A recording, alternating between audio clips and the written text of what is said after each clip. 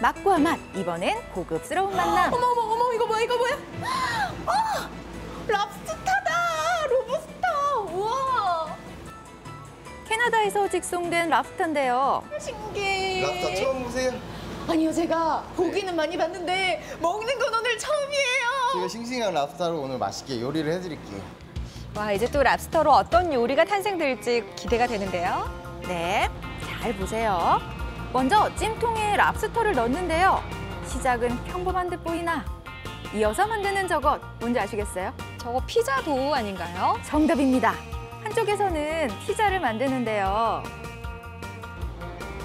찜통 안에서 빨갛게 익은 랍스터가 나오면요.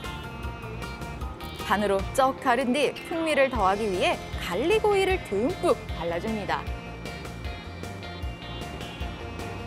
치즈로 속을 꽉 채운 랍스터를 한 번 더 구워주고 이제 피자도 꽃단장을 해야겠죠? 와, 진짜 바닷가재와 피자의 만남이네요. 그렇죠.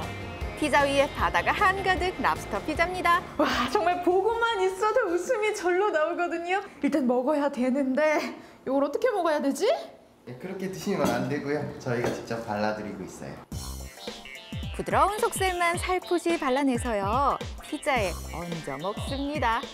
오늘은 우아하게 즐기고 싶었거든요 이건 그냥 먹어야 돼요 아, 입을 정말 크게 벌리고 먹어야겠네요. 네, 입이 떡 벌어지죠?